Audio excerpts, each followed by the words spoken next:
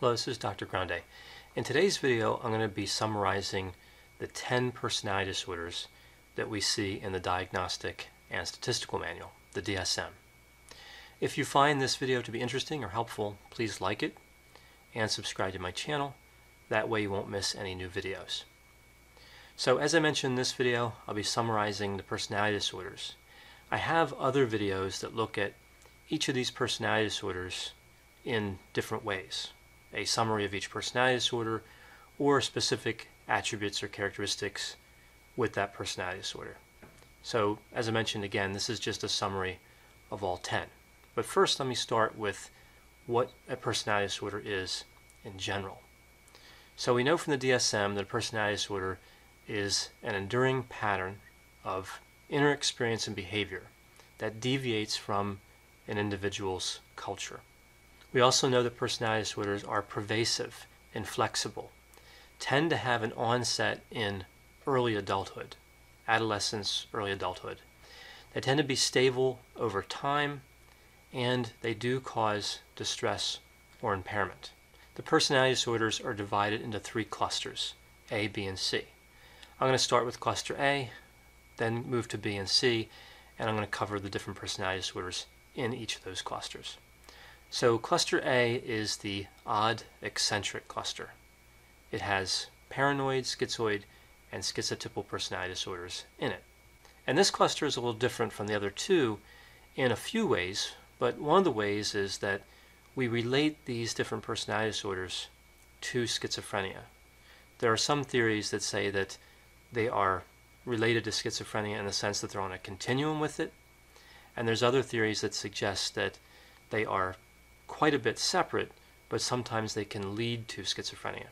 And we do know that in some instances, an individual with one of these personality disorders can go on to develop the symptoms of schizophrenia to meet the full criteria of schizophrenia. So let's take a look first at paranoid personality disorder. Here we see behavior like being suspicious, distrusting people, taking benign remarks and interpreting those remarks as being threatening, tending to hold grudges, and oftentimes we see here individuals with this disorder have concerns about infidelity. They suspect that their partner is cheating on them. Now moving to schizoid personality disorder. Sometimes this personality disorder is characterized by the term loner.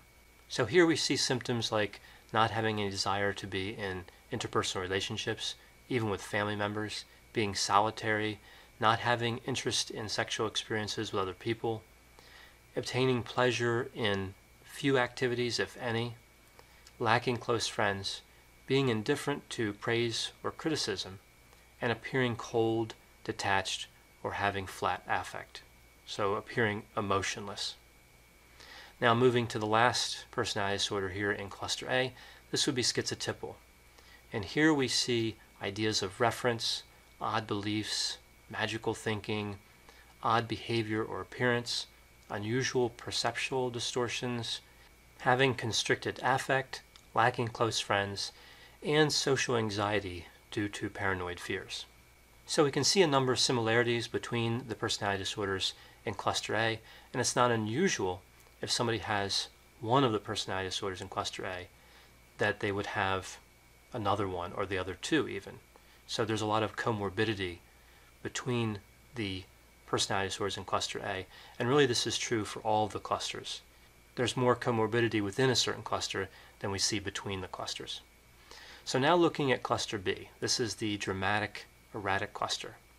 There are four personality disorders here antisocial, borderline, histrionic, and narcissistic personality disorders.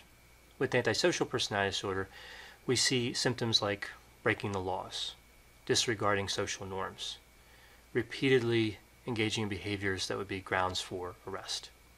We see lying, impulsivity, aggressiveness, irresponsibility, a disregard for the safety of others, and lacking remorse. Now, moving on to borderline personality disorder, here we see a lot of efforts to avoid abandonment, an unstable sense of self, unstable relationships, impulsivity, suicidal behavior, and self harm behavior, we also see this feeling of emptiness and a lot of anger. Now moving on to histrionic personality disorder. Here we see somebody who's uncomfortable if they're not the center of attention.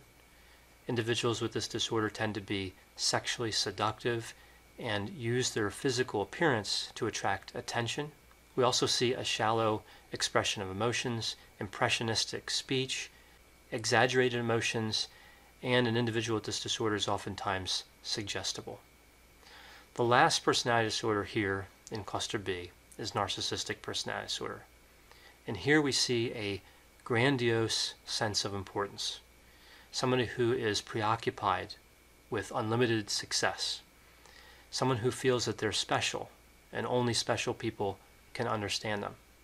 We see a need for excessive admiration, a sense of entitlement, lack of empathy, and the appearance of being arrogant. Now moving on to cluster C. This is the anxious, fearful cluster. There are three personality disorders here, avoidant, dependent, and obsessive compulsive personality disorder. OCPD for short. OCPD is different than obsessive compulsive disorder. Those are two separate disorders. So with avoidant personality disorder, we see symptoms like avoiding occupations because of fear of criticism, only entering into relationships when there's a certainty of being liked, feeling inept and inferior, not taking risks, again because of fear of criticism.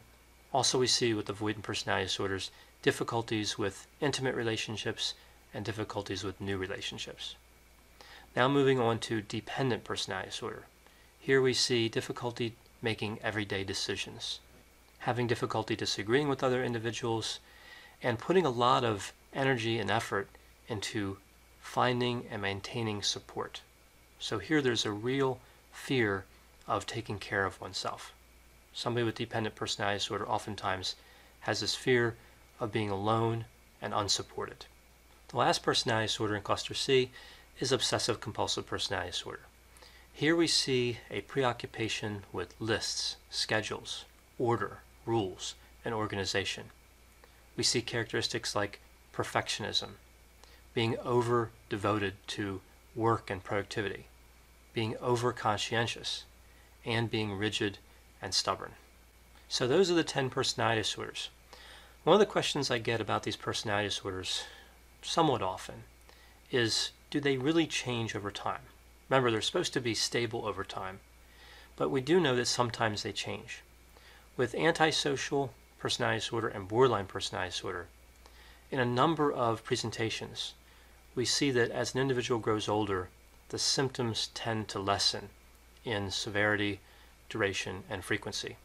And sometimes those personality disorders tend to remit. That's not in most instances, but we see that more often with antisocial and borderline personality disorders than we do with others. Other personality disorders like schizotypal and obsessive compulsive personality disorder tend to be particularly stable over time. Another question I get in relation to personality disorders is which ones tend to affect work productivity more. So a lot of times when we look at personality disorders, we look at the impact they have on somebody's job or career.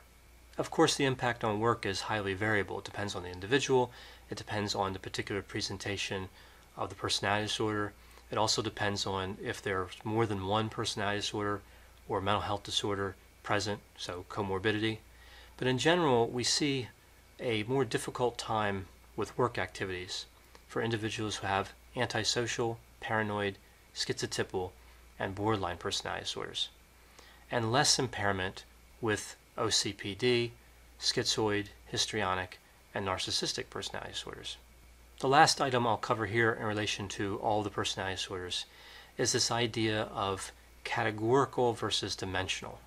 So there's a debate going on with personality disorders that these categories really don't capture the essence of what's going on, and that we should move to a dimensional model, a model that looks at extreme manifestations of certain personality traits to explain the behavior we see with what we now call personality disorders.